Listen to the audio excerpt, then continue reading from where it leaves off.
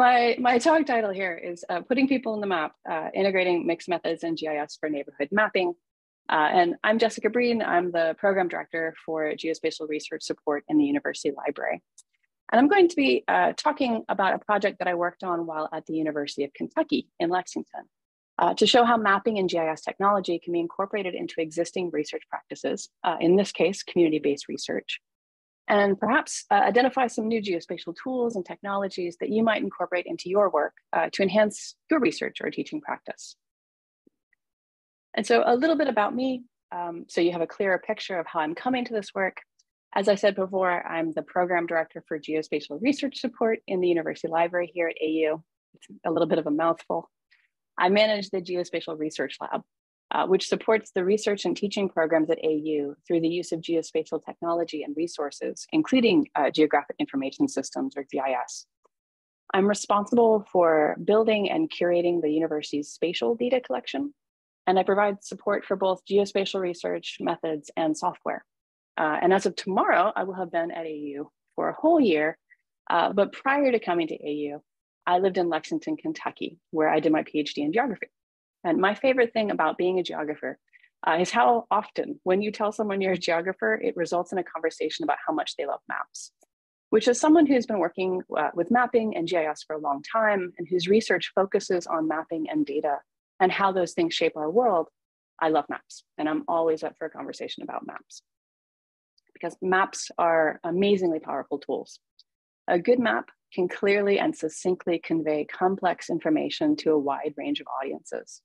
They can illustrate patterns in data.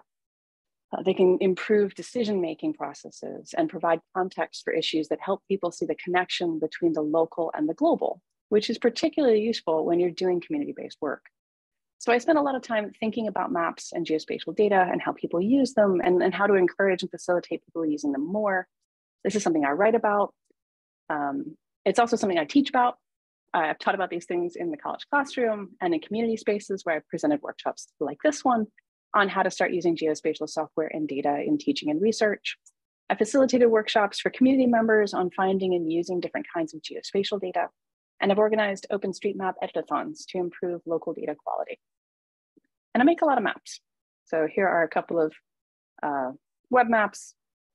This is just my, my demonstration that I do in fact know how to make a map. Um, so when I was in Lexington, I worked as the research assistant for a project called MapShop. And MapShop is an initiative of the New Mappings Collaboratory. It's a research group at UK, uh, located in the Department of, of Geography. And MapShop's purpose is to provide an opportunity for community and campus organizations to work with geography students and geography faculty, as well as our cartographic staff, uh, to produce geospatial data and data analysis. We also uh, made maps and data visualizations, all in a collaborative participatory process. And this collaborative participatory process is really key to the work that MapShop does. Uh, projects are done with partners. MapShop's goal is to raise critical mapping capacities of organizations at the University of Kentucky and in the broader community. And so clients for MapShop uh, came from all over the university and the surrounding community. Oops click the wrong button there. Um, we regularly worked with both academic and non-academic units within the university, um, as well as some, as local organizations uh, and the occasional state agency would ask for help. Um, the logos here on this page, these are just some of the organizations that I personally worked with through MapShop and in my work as a, an independent geospatial consultant. I also did a lot of work with individuals and smaller orgs that uh, don't have logos I can throw on a slide like this. But as you can see, it's a pretty wide array of organizations. There are numerous academic departments, some administrative units, uh, several environmental groups and land trusts. I came to geography uh, through environmental studies. Uh, there's also a variety of other nonprofits and civic organizations represented here. And so from this collection, I want to talk to you today about a project that was done with the NOLI CDC. And so the NOLI CDC uh, is located in the northeast corridor of the city of Lexington. It's the, um, the North Limestone Corridor here. You can see it in blue. And like many community development corporations, uh, the NOLI CDC is a nonprofit organization whose emphasis is on creative placemaking.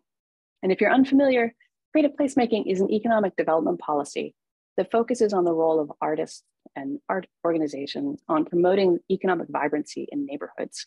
So uh, over here on the left of the screen, this map, very stylized map, uh, this is the vibrancy map that uh, NOLI put together, uh, showing different businesses and artworks and uh, organizations that are in the neighborhood.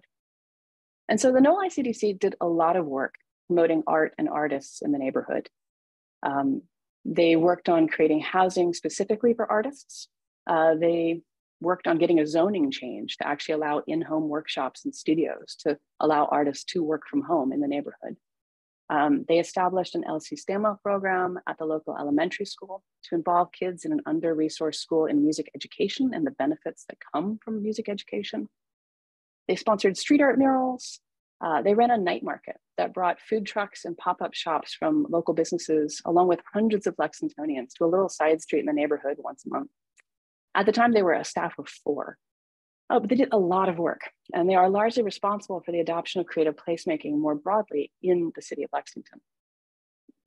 And so I want to take you on a quick tour of the neighborhood. Um, and this is where I leave Google Slides. We'll see how this works. Let's see. Are you still seeing my screen? You see a map now? Is it Google Maps on the screen? Yes. Okay, cool. Excellent. Um, right, so I'm gonna drop us into Street View and I'm gonna go to what is sort of the main intersection in the North Limestone area. It's where uh, NOLI was focused. And so let's go stand out in the middle of the street here. This is the intersection of North Limestone and Loudon. Uh, traditionally, well, traditionally, historically, 100 years ago, this was the edge of the city in this direction. Uh, limestone will actually run straight through the entire city the zero zero point of the city is actually on North on Limestone, where it goes from north to south. And so what you're looking at here, uh, this is the main business district. This is current, well, it's last year. Uh, and so this was the industrial section of Lexington. Uh, but industry in Lexington isn't um, disused factories.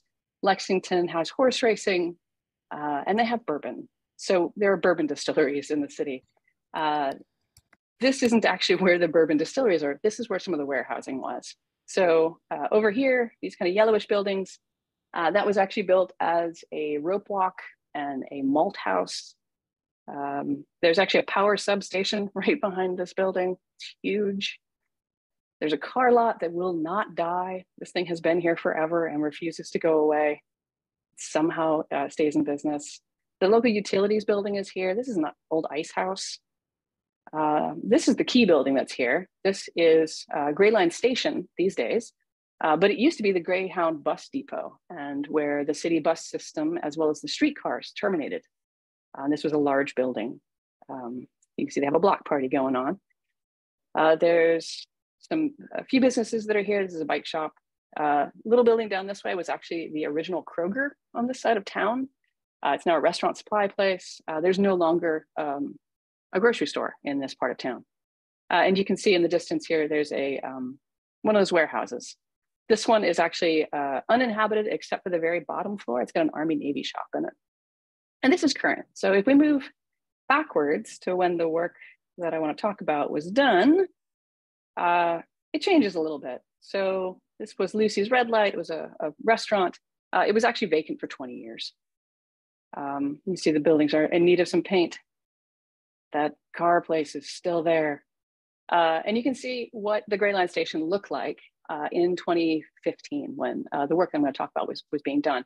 This building uh, was owned by the city. It was a historic building, uh, but as you can see, it is vacant, right? It's not got much in it.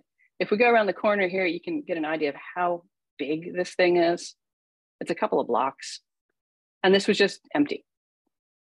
Uh, and the city had no plans to fix it. In fact, they had built themselves a new bus depot in the middle of town, and then uh, the storage for the buses was actually moved a couple blocks away. So this is uh, this is North Limestone. I'm going to see if I can get back into my slides. All right, so that's the neighborhood. And so specifically what I'm going to talk about is the North Limestone Cultural Plan. And this uh, took place in 2014 and 2015 um, when, as I showed you a second ago, the Greyhound, the Gray Line Station building uh, was still vacant. And there were a lot of questions about how uh, that space could be revitalized and, and, a lot of questions and, and issues around uh, gentrification because there is a connection between the kind of work that creative placemaking encourages and gentrification. And this is a, a largely minority or historically has been a largely minority neighborhood. It's clearly disinvested. Uh, and so neighborhood change was, was a big concept uh, being debated. And so the cultural plan here, this was a collaboration between the North Limestone Community Development Corporation, uh, several academic departments at the University of Kentucky, uh, as well as a number of civic and nonprofit partners. And it was funded uh, in part by a National Endowment for the Arts, Our Town grant. Uh, and these, the Our Town grants are the flagship creative placemaking grants in the United States. Uh, there was also a lot of money that came to this from the Knight and the Kresge Foundations, who are both known for their um, urban revitalization work. So the idea for this project was to create a cultural plan for the North Limestone Corridor uh, based on direct input from community members and residents. And this was going to guide both public and private development uh, that happens in the neighborhood in the future. So the big elephant that they were trying to take care of uh, was that, that Greyhound bus station. So when you do this kind of work, Ordinarily, uh, it's done in the format of a design charrette, where planners gather stakeholders together in a meeting room somewhere, uh, usually in City Hall or a school, uh, and they, they gather to discuss options for the future. And the data generated from this consists of lists, typically. They're lists of things people want or they don't want to see in a place. Uh, and you also, you make collectively annotated maps, uh, like you see on the tables in the image here. So charrette organizers also collect feedback about potential designs for a space. They have participants place colored dots or post-it notes on design options that they prefer. But this typically means that the community input is coming to the problem after designs and options have already, to some extent, been limited by the planners and designers who are overseeing this process. In contrast, the North Limestone Cultural Plan uh, was envisioned as being an open process right from the very beginning. Uh, they wanted to, to ask community members and residents what they wanted to see without limiting those visions for the future. And so uh, they took an entirely different tack to doing this kind of work. The NOLI CDC sought out the input of people whose work schedules generally prevented them from participating in planning meetings and people who are just generally left out of these conversations more broadly. They held a series of bilingual community dinners where participants covered a broad range of topics about the neighborhood and its future. Um, they also conducted group and one-on-one interviews. And we also did these. Uh, and this is what I worked on, uh, creating maps and, and, data visualizations, as well as compiling and analyzing survey and demographic data that was generated by uh, a series of radical walks. And so radical walks uh, come from the, the, the, psychogeographic tradition of the Derive and the internationalists in Paris, uh, people who, who found the shape of the city limited and so uh, would explore sort of randomly through spaces going into liminal spaces the bits between the things you're supposed to go to uh, to sort of explore the city in a different way. And so we had participants led on a series of loosely guided walks through the neighborhood um, which were followed by a more charrette-esque kind of collaborative session where people who had just been walking together through the neighborhood had just experienced it together uh, then discuss their collective visions for the future of the space. And as you can see in the photo here, uh, we've still got the, the colored dots and the large maps. Uh, but you might notice that the participants are much younger and more diverse than the previous image. Um, the NOLI CDC sought input from a variety of stakeholders, usually the kind of people who are left out of design charrettes. This included school children. Um, civic planners rarely ask school children what it is they want to see in the city, despite the fact that these are our future uh, residents and citizens and, and, people who are going to be in charge someday. Uh, they don't they don't ask kids, and so um, a groups groups of school children were brought in from uh, the North Limestone Magnet, which is on the a couple blocks away from that intersection, and the STEAM Academy, uh, which is the science technology. Oh man, it's STEM but with arts in it. I can never remember all the words for STEM: engineering, math, and art. There you go. Um, students from that school were also brought in to do these walks and their input on what should happen to the neighborhood was solicited. Um, there were also walks that were organized for uh, social service organizations, of which there are quite a few in the neighborhood, uh, business owners, uh, and just general res residents. So as always, uh, the data collection and the participants gathered, it's never perfect, uh, but it was a, a, particularly impressive effort to try to go after the people who don't get to participate in charrettes normally. And so part of the guided walks uh, included written community assessment surveys. I, I, showed you the cover to this uh, a minute ago, um, where just as in a charrette, participants were asked to list the things that they enjoyed, the things they didn't enjoy or wanted to experience in the future. They were also asked to explicitly reflect on the sensory experience of the space and think about what they heard and felt and smelled on their walk. Uh, so unlike a typical charrette though, these lists of things were acknowledged as being spatial data. When someone tells you that they want more trees in the park, there's a place in the park that they're thinking of for those trees to be. And it's important to be able to gaze, gather that, um, that aspect of the data. So we started out during the design of the survey instrument, asking participants to draw an annotated map of what they wanted to see in the particular places in the neighborhood, uh, one of which was a, a local park. And within the survey instrument, this was literally a blank page that just said at the top, draw a map of what you want to see in the park. And the problem uh, with using that as the, as the collection tool was that you really couldn't tell what was going on in people's maps. People have terrible, terrible handwriting. And many people are not particularly skilled at uh, drawing landscape architecture. So you couldn't tell what was going on in the maps. Uh, and because you couldn't really tell what was going on, uh, and the maps all contained different things, you couldn't compare them to each other. So it really didn't work very well as a way of systematically gathering data from the community that we could then use uh, to write the report and, and actually tell people like what did the community say about this space uh, and these are just sort of fundamental problems with having people use sketch maps. So people draw at different scales. Um, people have a tendency to in their sketch maps they put the most important thing to them in the center. Very much like um, a mappa mundi historical maps where jerusalem is shown as the center of the world and everything else sort of radiates around it. Uh, people put the most important thing in the center of their map and then they just sort of radiate the rest of the world around it uh, which can make it really difficult to orient the map, to figure out where north is. If you can't figure out which way is up on the map, you really can't line up multiple maps to, to figure out what's going on with them. Uh, and because people are, are mapping what they think is important, which is a great use for a sketch map. If you want to know what people think is important in the neighborhood, have them draw on a blank piece of paper. But not everybody thinks the same things are important. So the maps don't have the same things on them. Uh, so you really, there's no systematic way to compare these maps. But it was still super important to us that people be able to convey the spatial aspect of their visions for the future of the neighborhood. And so I suggested some other tools. Uh, the kind of work that MapShop does uh, and that I do as a, a, critical feminist digital urban geographer, geographers really like adjectives, uh, this is called participatory GIS.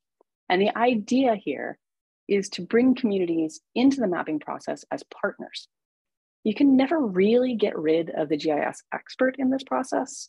Uh, you still need someone who can use the software and you still need someone who can find the data and, and understands the limits of geospatial data. But we try to decenter ourselves and facilitate people mapping themselves. And in my practice, this often means using low tech and free and open source tools because it's really important to me that I be able to leave my tools behind me. Um, maps are a form of power that has historically been limited to the state. And being able to map yourself and speak in a way that governments understand is an incredibly powerful tool.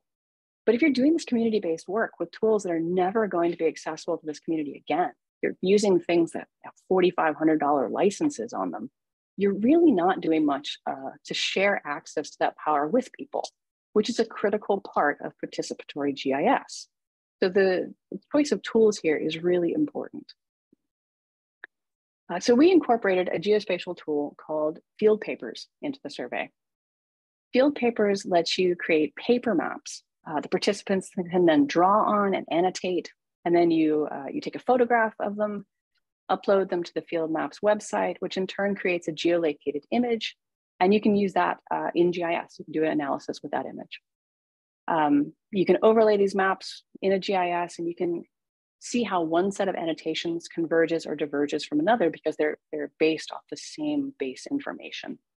Uh, so we were able to, to gather the data in a way that maintained its ability to be systematically compared while also maintaining its spatial context in a way that didn't radically alter the survey instrument. And it wasn't a heavy lift for the people creating the survey instrument. They weren't having to learn GIS to do this they were able to just have people draw on paper maps. And so uh, this is where we go into the live demo territory. So hopefully this works. I'm gonna throw some uh, URLs into the chat, hopefully, if I can get them in there. All right, so going to everybody. So this is where we're going. I'm gonna take you to field papers. And again, I'm, I'm leaving Google, so we'll see how this works. Uh, yeah, so here's field papers. Um, Field Papers is, well, was developed at a cartographic company called Stamen, who, though you've probably never heard of them, you've absolutely seen their maps. Uh, they do a lot of work uh, with nonprofits and with academic institutions. They were the key people behind the, the visual aspect of the American Atlas. Um, and they they provide base maps for web maps uh, that are used freely and widely, and, and you've, you've definitely seen some of them before. But they ran this project for 10 years and they've recently handed it over to uh, OpenStreetMap, which again, if you've never heard of them, you've still seen them. Uh, OpenStreetMap is the largest crowdsourced map of the world. And a lot of their data gets pulled into all kinds of mapping apps. Uh, if you if you look at the bottom of mapping apps that you're using, you will probably see OpenStreetMap referenced as a source for the data. Uh, Google sucks up data from OpenStreetMap. Uh, it is a massive repository of free and open uh, data about the world. And so this project is intended to enable people to, without the use of computers directly, um, make paper maps, draw things on them that denote changes in the world, and then uh, upload them to the computer, trace them, and put them into OpenStreetMap. But you can use this for your own projects too. Uh, you don't have to put your data in OpenStreetMap. But if you're generating data that doesn't exist about the space, maybe you would like to contribute. Um, so in order to make an atlas, it's actually fairly simple. The pictures here, they, they, they lay it out pretty well. So to make an atlas, um, it doesn't normally start on American. I admit that this is because I zoomed in here previously. It normally starts out at the, uh, let me zoom out where it starts. It usually starts out at the at the US. It does do this two by one page thing when it starts. And so to use this, um, there is this little search function. Again, I mentioned they just changed ownership uh, of this project, and the search function I don't think is working right. Yeah, it's it's glitchy. So, uh, in order to to make your map, you just kind of zoom into where you're going. I'm going to zoom in to Washington D.C. because well, it's annotated on the map, and yeah, it's sort of pertinent to where we are. So I'm going to zoom in, just clicking. It works just like Google Maps. This is, all right, I'm going to campus. Campus is good. There we go. All right, so I've zoomed into my space. Depending on what I want to map, um, I might zoom in further, right? So if I wanted to trace the uh, routes that people took through the neighborhood and the things that they maybe saw that they, they liked or things they wanted to add to the neighborhood, um, I might be this far out right? Because I can trace my little trails through the neighborhood pretty easily at this scale. Um, if I wanted to, you know, map mailboxes or something or specific trees, I might zoom in further. Um, you can create atlases with this, so it's multi-pages. And you can do that by adding pages. You can add them vertically and horizontally. Uh, you can change the paper size to some extent. Uh, you are kind of limited in how big these things can print. Uh, and you can switch from landscape to portrait depending on what fits your, your site best. You can switch between base maps. Uh, and again, uh, they just changed servers. So this has also been being a little flaky, but let's see if it'll let me switch. And it did. Uh, so it has some satellite imagery. There's a few things here. So OpenStreetMap uh, is what you were looking at a second ago. There's a black and white version. This is Stamen's uh, toner base map. There's some labeled satellite stuff, which can be handy if you need to know the street names. Um, not all data is visible at, at, all zoom levels. So, um, oh, now it's misbehaving. So you won't always see the street um, labels if you're zoomed in too close for them. Uh, there's, uh, depending on where in the world you're doing mapping, there's also the humanitarian base maps um, from Humanitarian OpenStreetMap, uh, who do crisis mapping work. There's also uh, some satellite data here and some uh, cycle, cycling data map here. So hang on one second. Let me pop over here. Um, that? Okay. Right. So we can change the base map. Uh, you can throw a UTM grid on there if you really felt like it. You can add a label, you can add print notes. Uh, you can keep your atlas private if you like. This is on a public server. Uh, it does record um, the spaces that people have made atlases of. So um, that's usually not a fundamental problem for privacy in doing mapping projects. Usually it's the other end. That's when you have the data on the map that it's a problem. Um, but you can uh, prevent this from showing up on the list of atlases that were made if you wanted to. And so once you've finally laid out your map, uh, I'm gonna do this slightly nicer. Hang on, me go back to the OpenStreetMap bottom here. Uh, I'm gonna do one page. I tend to find that uh, depending on what you're mapping, one page is usually better than multiple pages if you can fit it on the page that way uh, people do better when they don't have to juggle between lots and lots of uh, lots of pages when they're walking around because you do you physically take these things out and you walk around and you map things as you see them um, so i'm going to make the atlas here and this can take a minute if you've made a really big one or it has a bunch of pages uh, it can take a little while in order to to work here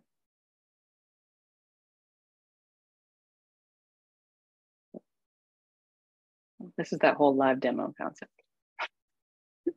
I did actually go through and I pre-baked some apps. So if this doesn't uh, hurry its little self up, I do in fact have uh, maps that we could look at from this.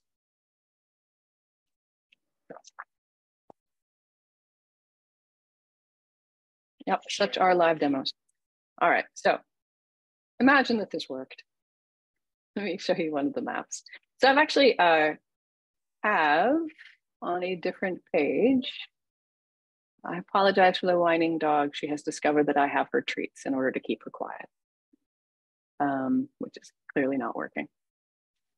Let's see. If I get this, copy link. I'm going to throw into the link, into the chat, um, a link. Oh, that's the wrong one. Hold on. I'm gonna put in a link to my OneDrive file that I have where I have already made these little maps and they are living there. Um, and you can see them. And I'm gonna pull one up on the screen here in a second. Go to OneDrive. I'm already logged into. And atlases. So this is what uh, a field papers atlas looks like when they run. And so they have these uh, little reference points. And the big thing, the thing that makes it take so long uh, to run is this little dealio over here, the QR code. It's generating a QR code so that it actually can identify these images again. And so it can uh, georeference them for you once you have annotated it and uploaded it to the computer. So the way that you annotate these things, go back here. I also have some annotated maps. Uh, but because I don't have a printer, uh, I did these on my computer. So you might notice that they're they're drawn with a computer. So uh, you you literally draw on these maps. I normally ask people to use colored pens or pencils if we can, um, particularly when we're using satellite imagery like this. It can be really hard to see a black line on a map like this. You can also um, print one of the backgrounds that doesn't have any color in it, which can help. Uh, but color pencils or color pens are very handy here. And what you're asking people to do is to annotate the map. And so maybe you, I know these are quite tiny, but maybe you decided to add, these are some new trees. Uh, you know, you could add that new art, piece of art that's in the front of the campus. maybe they built a new wing on the back of this building. Wouldn't that be lovely? Um, or uh, maybe one of those desire lines on campus finally got paved and turned into a new path. And so people can add data uh, to the map that we can then digitize. And, and typically in GIS, we're digitizing um, points, lines, and polygons. And so we ask people to um, just sort of draw in that way if they can. Sometimes your ideas don't fit in those things. And so, you know, you give people some leeway, but ideally having them draw points, lines, and polygons is, is the way to go. So once you've got this, you need to take a picture of it uh, and you're gonna load it back up into field papers, uh, my Atlas creation field. Oh well. Um, so why we pre-baked some maps. So once you finally had people draw on your maps, you need to upload them. Uh, you can take a photograph with a cell phone. Uh, these things are meant to be done mobilely. And then you just upload them. And so I'm gonna choose a file to upload. Whoa, my whole desktop. I've got some annotated maps here. I'm gonna throw this one in. Um, and once it's uploaded, it will give you a new file. And again, in the tradition of uh, live demos, it's not playing along.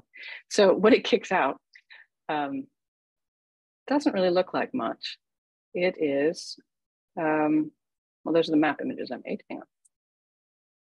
It kicks out TIFFs. And so this is what a TIFF looks like. Looks pretty much identical to a JPEG, except that this TIFF, ooh, I zoomed in. That wasn't on purpose. Um, this TIFF knows where in the world it lives when you put it into a GIS. And so that's the thing uh, that we're going to exploit next. And so uh, I'm going to give you another uh, URL, another piece of software. Um, this one's called QGIS. I'm going to show you QGIS now. Let's see if, let's see, I think I need to switch my share because I'm going to open a new program. But let's see how this works. Um, well, maybe this will still work. All right. Do you by any chance see a, uh, a GIS format now? Is it there? Yep. Hang on, I can't. No. All right, hold on. Um, no, we're on the uh, QG, QGIS. Um, oh, perfect. Awesome. Yeah, sorry. I have a lot of screen real estate, but not quite enough to be able to see everything all at the same time. So um, this is QGIS. This is a file that I've actually, a map file that I've already made. Uh, it's in the uh, SharePoint that I, I sent you, the, the OneDrive link this map is in there. So if you go to uh, QGIS.org, you can download this, this software. Uh, this is a free and open source GIS program. Um, because GIS does not actually mean ArcGIS. Uh, there are numerous GIS programs available, um, and many of them are free and open source. Uh, QGIS, in fact, works great with Macs. I'm a Mac user. I use QGIS. I use Arc when I am forced to. Um, so if you're having students do GIS work with your class and you don't have to have them using ArcGIS for some reason, you can totally, uh, your Mac students can absolutely use QGIS. Uh, your PC students and people who are using Linux and Android can all use QGIS. Uh, it works on a whole bunch of different platforms. So, um, and the, the great thing about this piece of software, this is part of that leaving my tools behind concept, uh, in that it is free. And so everyone that I, I work with, uh, if I'm trying to share map layers to them, uh, trying to share map files and, and, enable them to, to make edits to these things and to, to own the map files and not just the image that comes out at the end. Uh, this is free software. They can keep this forever. If you're working with students doing GIS, this is software they can keep once they have left American, because this is free. Um, so this is, this is QGIS. In this map, uh, and again, you have this map file in that folder, uh, I have created uh, a layer for paths, uh, a layer for buildings, uh, and we have the, the OSM standard um, base map being shown here. And what I'm gonna do is I'm gonna bring in um, that GeoTIFF that by um, field maps. So if I do this right, I'm going to go to raster. Uh, the way that, that QGIS lets you bring data in, it wants to know what kind of data. It has little different inputs for different kinds of, of data that you're, you're trying to bring in. And so um, these images, images are rasters. So we got to go to the raster one. And it is living in my GIS data box under TIFFs because these are TIFFs. And we're bringing this, this image. And my computer does this weird little thing where there is a another screen that comes up with that data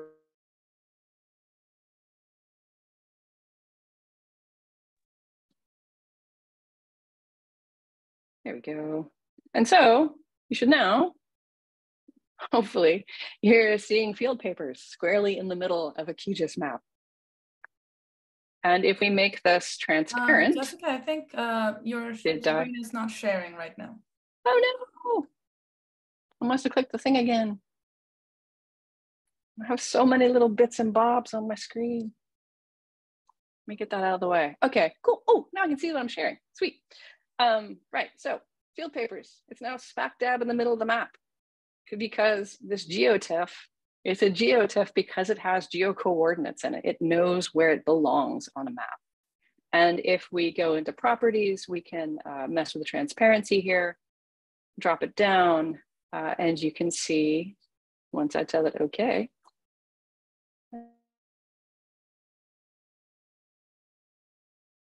Oh, that was the global transparency. Hold on.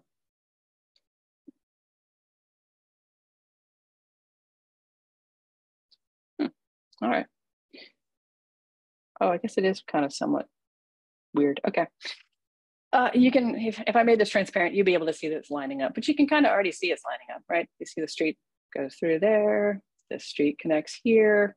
Um, if I wasn't using field papers, if, uh, if I wasn't able to figure out how to line my location up in field papers, if, if field paper map in QGIS, uh, the benefit to doing it in QGIS is that you can do this. Um, so, hmm. oh, huh, I had it in there twice. That's why. Ah. Right, there it is. So if I turn that off for a second, I can actually rotate the world in QGIS, which could make this line up better on a piece of paper. And you can essentially create your own um, georeferenced images this way or base maps and, that you can print off and, and let people draw on. Uh, it is much more convenient to use field maps, but field papers rather. Ah. I'm just gonna spin it the whole way. we'll get there, or I can just zero it out. There we go. All right, put the field papers back. Okay, so the next point of order. Now that we have this map in here, um, we could just add them all together, mess with the transparency, um, but that's not actually going to enable you to do any analysis on the data. So what you need to do is to actually um,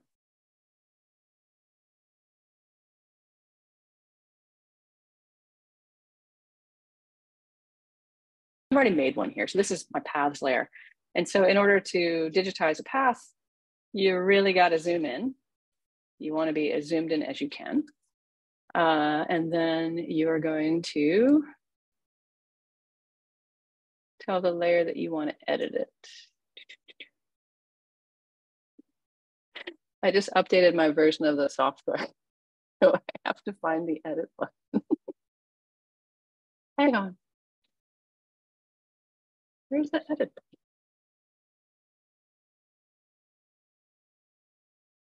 Oh, there it is. It actually didn't move. I'm just not seeing it. All right, so I've turned on my edits. I don't want to create a new virtual layer. What I want to do is to actually create some points on the map. And so what I can do is I just drop a point. Oops, come on, little guy. Oh. My choice of red here is not helping me out. Let's see. Let's we're going to change the symbology to make this a little easier because uh, my, my line color and my actual color are a little too similar to be able to see them. Uh, and the stroke width is really tiny. Let's fix that. Okay. Right. So now we should, when I draw on here, actually be able to see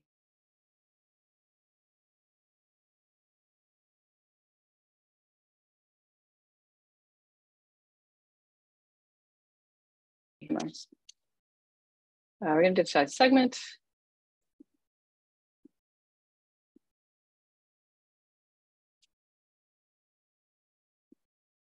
Oh, ah, I have my computer set on double click. Oops.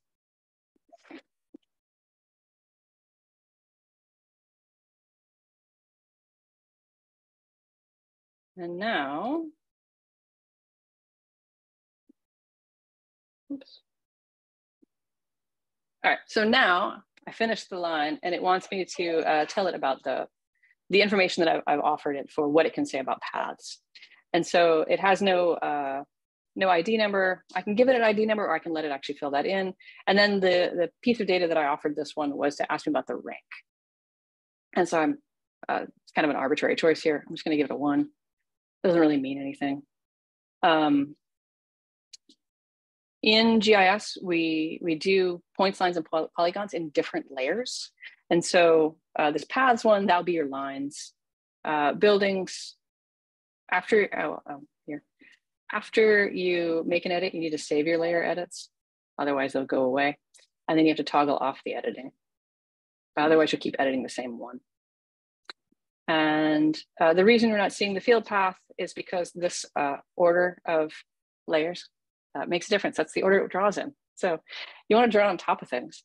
So I need to put the buildings layer on top of my, my data here in order to be able to see it when I'm, when I'm mapping. So again, uh, if you're adding data to an existing layer, you're just going to turn on the editing. You're going to go over to this is the polygon tool. And you just have to remember that your computer is looking for double clicks instead of single clicks. You can actually set that up. Um, you finish the thing and I can give it an ID number. Again, this is something I already set up with it. Um, I didn't actually have any other data asking for in that layer. So. Oh, no, don't do that. Again, you gotta save these and turn off editing. And so if you didn't have a layer, like we don't have one currently uh, for these little trees that I have put in the corner up here. I know there's at least one new tree on, uh, on the quad. So in order to actually create a whole new layer, you go to layers, you go to create layer. These are shapefile layers, these are vectors. Um, you have to name your layer. You also need to be uh, careful about where you put your data. You should actually organize your information. So I want to make trees. Uh, the geometry type here, your options are points, multi-points, uh, polylines, and strings. So I'm going to use points because trees are generally shown as points. Uh, it automatically has an integer as a thing that it wants to have. I can put in species, Oops, spelling is helpful. Uh, it's a text string, right? I can put in DBH, uh, the diameter at breast height. Uh, that wouldn't be text, right? That's going to be probably a decimal. Probably doesn't need to be that long, and I probably don't need that much precision. So I can change the length of my fields, and I can add fields to this list. And if I tell it OK, I can then toggle on my editing.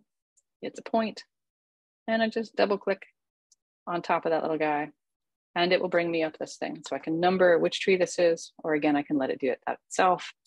I have no idea what kind of tree this is. There's probably not even a tree there. Uh, and then the DBH, I don't know, 12. Um, and I clicked multiple times, so I added multiple trees there. Uh, and you would just do this again until you had finished digitizing all your trees. Right, and then maybe this one's very large. And so this is how you, you go about adding your, your data. And so you can then drop out uh, the field maps and you can see your changes on the actual map. So most of the time when we're, we're working with community members, we don't have them uh,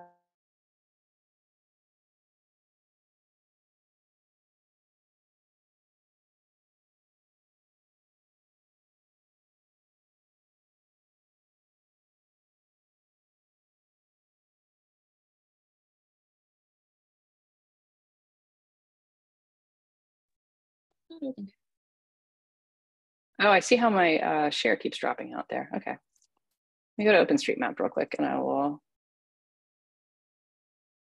show you uh, an example of digitizing as a sort of a newbie thing for uh, for mappers to be able to do. And so you can start mapping. This is um, OpenStreetMap. This is again where the field papers lives. In order to map, you have to log in. Oh boy.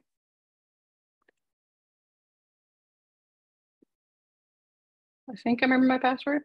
Clearly I do not. Hold on. There we go. I do remember it. All right. And so we can uh, have to zoom in in order to edit. You got to be real close. Digitizing is done uh, really well zoomed in so that you can actually clearly see what you're doing. Um, and so I'm trying to get this thing, yeah, here we go, to run this little walkthrough. So it, it seems a little bit complex uh, when you first look at QGIS. Uh, it's because I, I, was showing you sort of the, how you get this set up. Uh, when you have volunteers do this, they, they just do the digitizing. And so this is a, a sort of a quick walkthrough of, of how digitizing works uh, in OpenStreetMap. And so this, uh, um, this is OpenStreetMap itself. It's gonna try to walk us through. It shows you how to navigate. Uh, it tells you how to add uh, individual points, which you use for things like uh, shops, restaurants, monuments. These are, um, you wouldn't do a building as a point, but you would do a, the business unit as a point. Uh, trees would be points. A building would probably be an area. You can also do lakes, things like that. Lines, these are generally paths, roads, sidewalks. Um, and then buildings in OpenStreetMap actually get um, some special attention because they do some 3D mapping out of this. Um, I'm not actually going to edit OpenStreetMap right now. I'm going to close that. Right, and um, oh, I have more data. Hold on. Okay, so uh, the pitch here was about mixed methods, right? And um, qualitative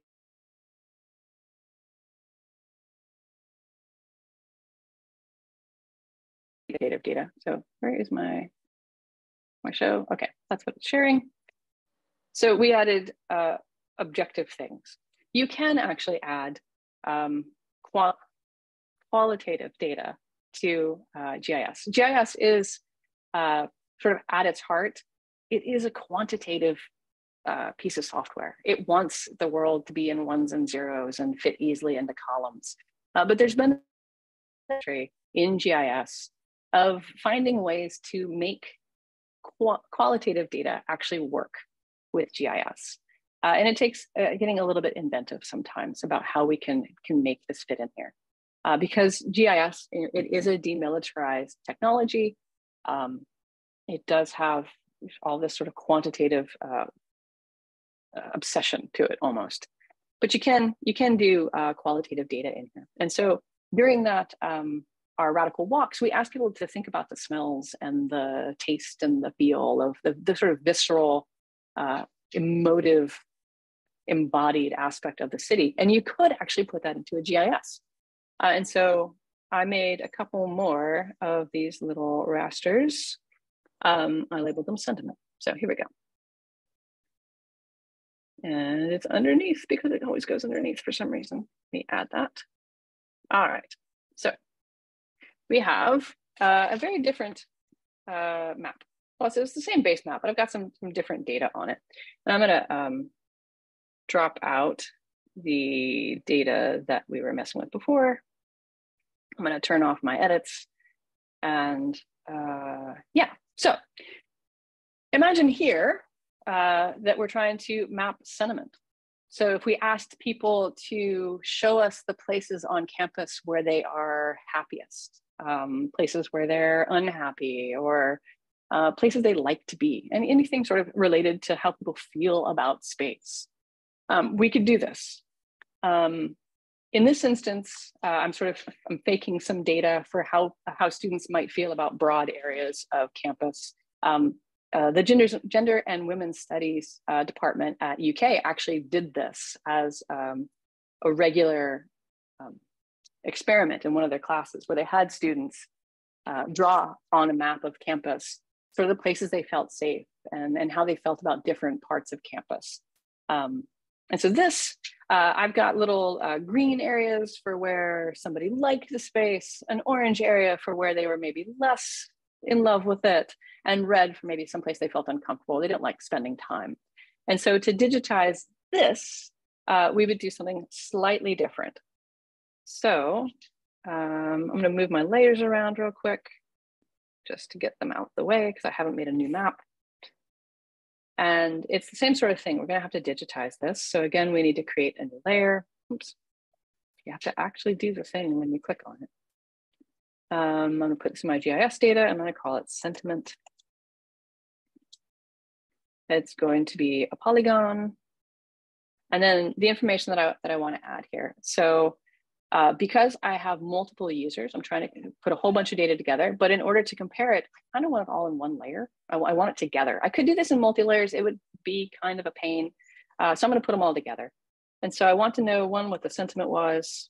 Um, and I'm not gonna use text for this. I'm actually gonna use an integer because I do wanna do analysis on it. And I know that that's the, that's the sort of spot where we're, we're switching from, uh, we're, we're trying to quantify a qualitative thing. So instead of saying, you know, good, less good, bad, uh, I'm going to go with one, two, and three. So I'm going to use an integer here, and I'm only going to give it uh, two, two spaces because it doesn't need to be a whole bunch of data. Uh, and then I'm also going to put in a user here, uh, and this will be uh, text, right? I can still use a number here. I can still number my my uh, individuals. I don't have to de-anonymize them, um, but it is going to be string, right? Because I'm not going to add users together or numerically. I'm not gonna do math problems on user numbers. So we got that. And I'm gonna go with that being enough. And so I can turn polygons, and it's the same kind of thing. Uh, you would just digitize these spaces. And I would put in here, you know, this is space one. Uh, the sentiment is going to be, so this is green, so I'm going to give it a one. Uh, and the user, I'm gonna, this is user one. This is sentiment analysis one. And same thing over here, which is another green one.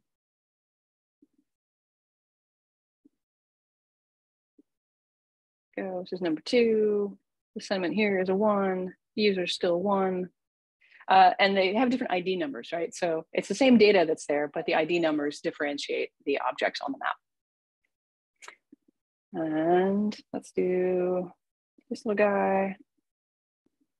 I don't actually know where I have highlighted on this map. This was random. So uh, if it's a space that you work in, I do not mean any offense. Uh, it is just a random choice of place, right? And so this is a three uh, and the user is still one. And I'm gonna, uh, I'm gonna not do all these because we don't really need them all. I'm gonna do an orange one. And so this is gonna be, that's number four. Sentiment here is gonna be two and the user's still number one. And then I can bring in another one, right? So I have one, uh, one user's analysis of the space. And then here is, this is another one. And again, it dropped behind because my computer does weird things for fun. And close that. All right, and so we can now see uh, sentiment analysis number two. I'm gonna move that in my little layers here so it's in the right spot. Um, I'm also going to change my properties here so that this thing is not filled. Be easier if it wasn't, wasn't filled. Um, I am going to give it an outline though, stroke color. And make it wider so I can actually see it. Okay, so now they're, they're outlined in, in black. And they can overlap. Um, this is actually part of uh, what we're going to be using here is that it, it overlaps. And so I'm going to add more, more spaces here. All right, so here's someone who doesn't like the tunnel.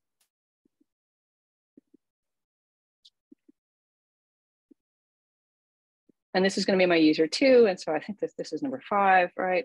The sentiment here was uh, three. They didn't like this one. This is user number two. And I'm going to do this one because uh, it also comes near another one. If they get really near each other, it can be a little obnoxious. Um, but you just zoom in further and it'll it'll fix it. This is six, uh, the sentiment here is one, and the user is a two. Okay, so I am now going to save my layer edits. I'm gonna turn off toggle, toggle those. I'm gonna turn off those layers. And so what I can do now, now that I have uh, this sentiment information into the computer, I can in fact visualize this. And so I'm going to uh, change the way that I'm looking at this. Can you guys see my layer properties pop up? Yep. This little thing with a gradient plasma on it. Oops. If I open the chat, I might actually be able to see the answers. Yes. Yes.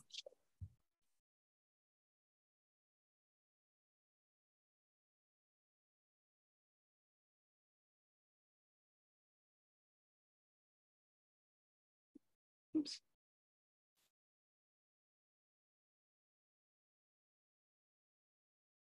Okay, am I back?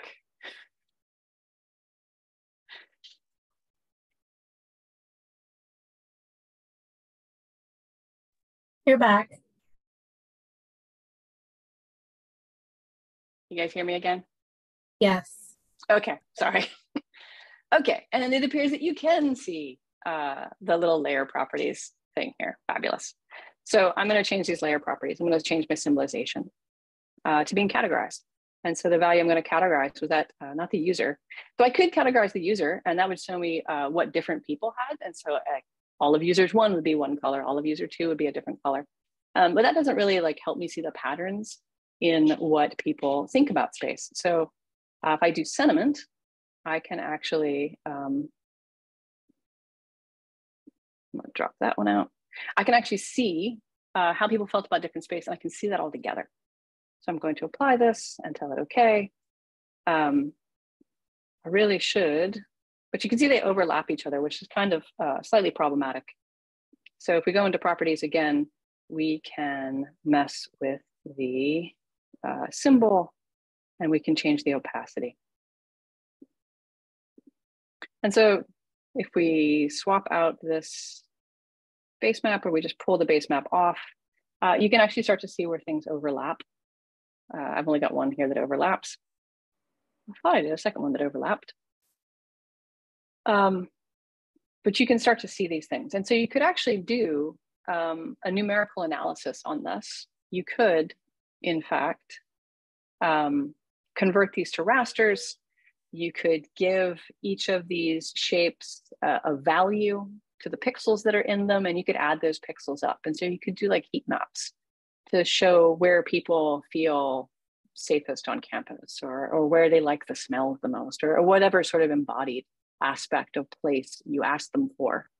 Um, a little bit easier than that. Uh, and ultimately, this is uh, what the folks from um, North Limestone Community Development Corporation decided to do was actually to just layer them with color. Uh, you can see it actually when these things line up. And so I'm going to change this uh, these properties again. And in this instance, I'm going to switch it to uh, a gradient of color.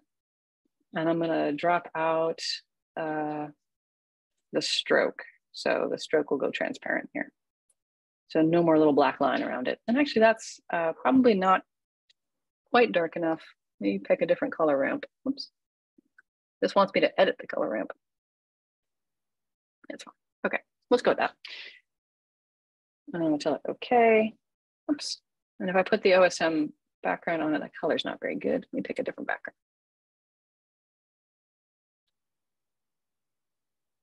Okay. So Stamen toner, put it in the right order.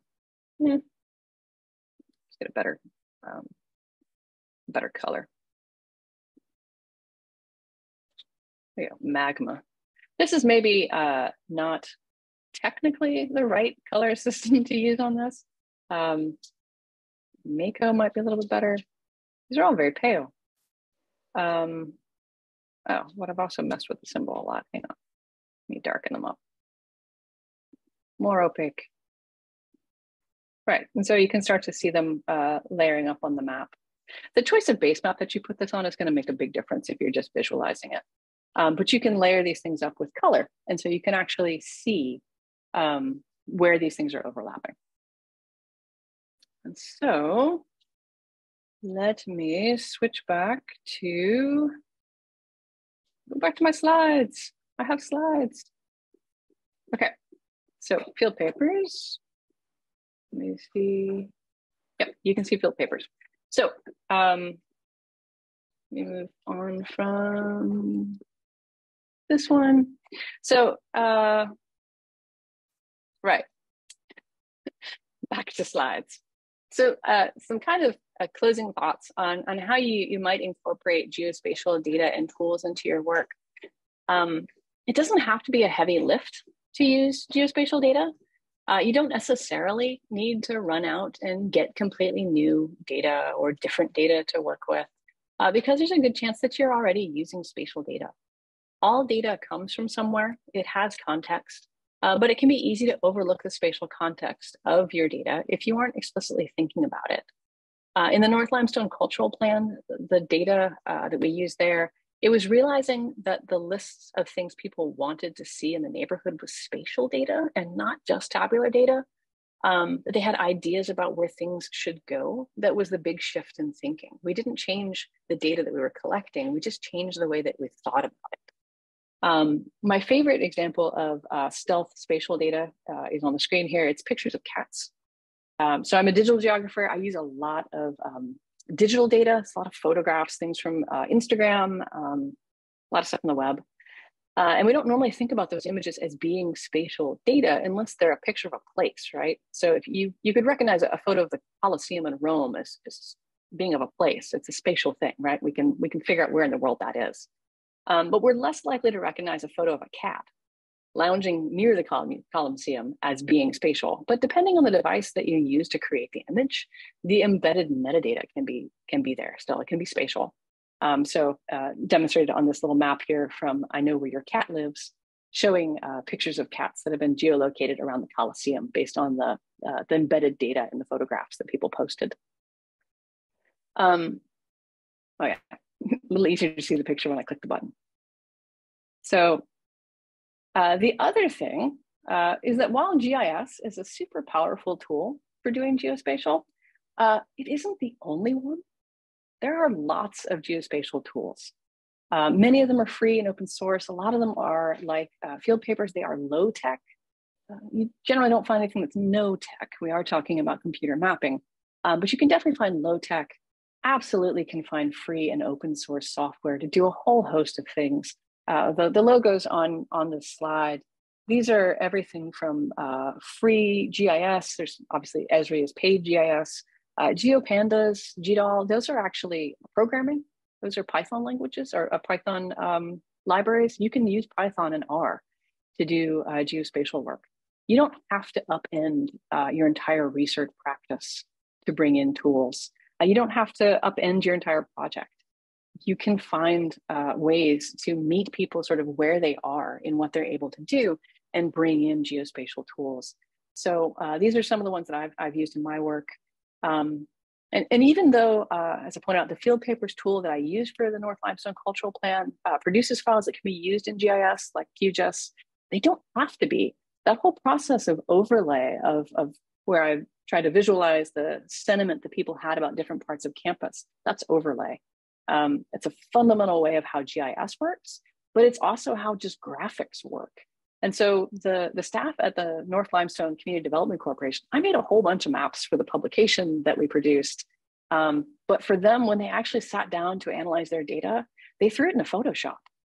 They were able to lay all of those maps, they're all the same size right? So they just laid them over each other and uh, messed with the transparency in order to be able to, to see what people wanted and how it compared to what other people wanted. They just dug through their data, but they were able to do this using, using Photoshop. Uh, and, and Photoshop is you know, an ex relatively uh, expensive program. There are free alternatives to Photoshop. You could use Inkscape, um, which is another uh, free and open source piece of software that will work on a wide variety of platforms. Um, and you can literally lay these things on top of each other. Um, so really not necessary to upend your research workflow to incorporate geospatial data and analysis. Uh, there's probably a tool that can be incorporated into your existing workflow. Uh, and there's, there's no need to use a tool that you find difficult. Um, if you know if putting this into Photoshop or Inkscape works better for you to analyze the data, absolutely do that. Use the tool that actually works for you. There's there's no one who's going to run around and, and, police and say that you had to use QGIS to do this. Um, and my my final little pitch here, um, I can help you with this. Right, this is this is what I do. Uh, in the Geospatial Research Lab, which is sort of both sort of physical and methodological. Um, the physical space, it's a computer lab. It's located in the, in the lower level of Bender Library in room B53. Um, whenever the library is, uh, the lower level of the library is open, uh, the Geospatial Research Lab is open. There's a key card to get in the door. Um, anybody with an AU key card should be able to get in. There are nine computer stations in there. Uh, on those computer stations, we have uh, geospatial software, we have ArcGIS, the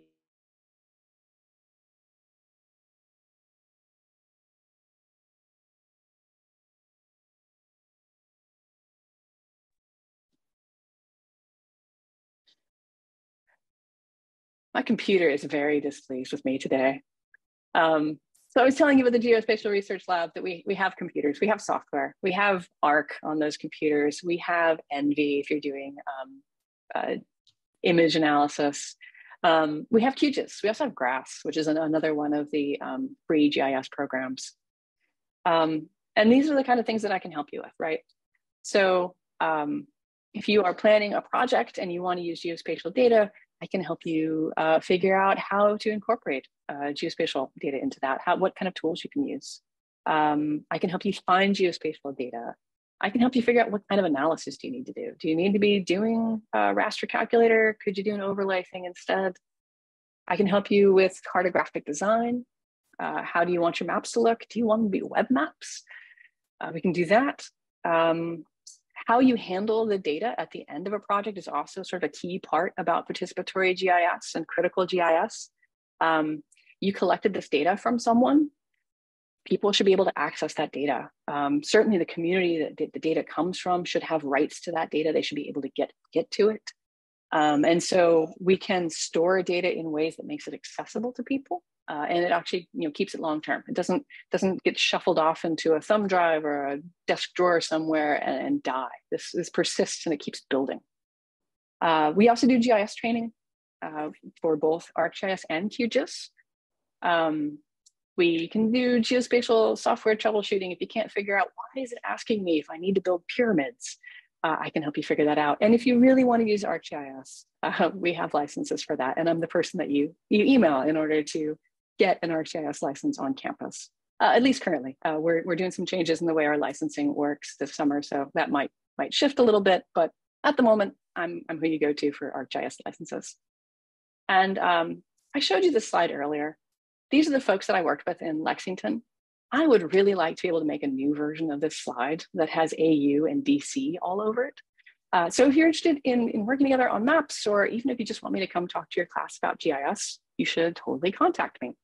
And uh, this is my uh, little content information. So this QR code will actually take you to my bookings uh, calendar if you wanted to go there